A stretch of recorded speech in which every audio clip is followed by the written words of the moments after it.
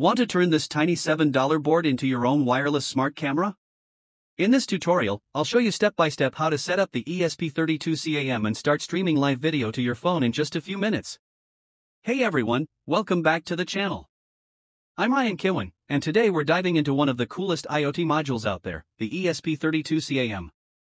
Whether you're a beginner or a pro, by the end of this video, you'll have a working Wi-Fi camera ready for smart projects. This tiny module comes with a 2 megapixel camera, built-in Wi-Fi and Bluetooth, and even supports face detection. People use it to build DIY CCTV systems, smart doorbells, delivery robots, and today, you will use it too. Here's what we'll need, ESP32CAM module, FTDI USB to TTL programmer, jumper wires, a breadboard is optional, and the Arduino IDE already installed on your computer. Let's wire it up exactly like this. Double check your connections before plugging into the USB port.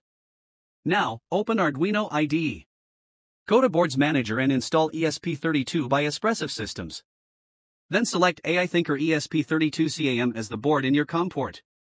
Next, open the example called Camera Web Server. Scroll down in the code, select Camera Model, AI Thinker, and enter your Wi-Fi name and password. Click on Upload and wait for the code to be flashed. After uploading, disconnect IO0 from GND and press the Reset button.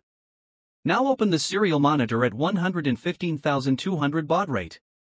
Once your ESP32CAM connects, it will show you an IP address. Copy it, paste it into your browser, and yes. You now have a live Wi-Fi video stream. Want more stability? Use a 5V2 amp power supply to avoid brownout errors. Need better range? Attach an external antenna. And for something fun, go back to the stream page and try face detection or face recognition mode. And that's it. You just turned your ESP32CAM into your own wireless smart camera. If you want a part 2 where we add motion alerts, record to SD card, or control it with your phone, comment yes ESP32 down below.